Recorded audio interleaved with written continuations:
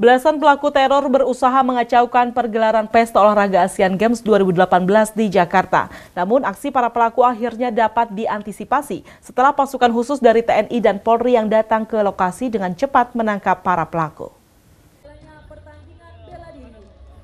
Belasan pelaku teror ini secara tiba-tiba datang dan berusaha melakukan kekacauan pada pagelaran Pesta Asian Games 2018 di Jakarta. Namun kekhawatiran akan adanya ancaman ini langsung segera diantisipasi oleh pasukan khusus TNI Polri yang dalam waktu sekejap saja dapat membekuk para pelaku sehingga teror tidak semakin meluas.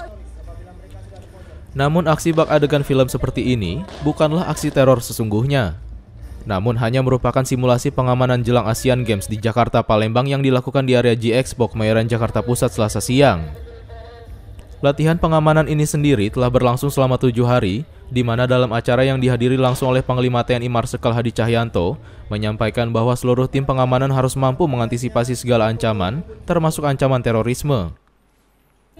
Senada dengan Panglima TNI, Gubernur DKI Jakarta Anies Baswedan yang ikut hadir dalam acara ini menyatakan jika Pemprov DKI Jakarta sudah siap dalam pengamanan perhelatan Asian Games 2018. Dalam rangka memberikan pelatihan, mitigasi, terintegrasi dari seluruh komponen stakeholder TNI, Polri, dan komponen lainnya dalam rangka mengantisipasi dan memberikan rasa aman terhadap jalannya kegiatan Asian Games 2018 yang rencanakan dilaksanakan di dua tempat, yaitu di Palembang, Jakarta, dan Bandung. Panglima TNI juga menekankan pentingnya komunikasi intensif antar lembaga terkait yang bertanggung jawab dalam pengamanan Asian Games 2018 yang akan mulai berlangsung pada tanggal 18 Agustus nanti.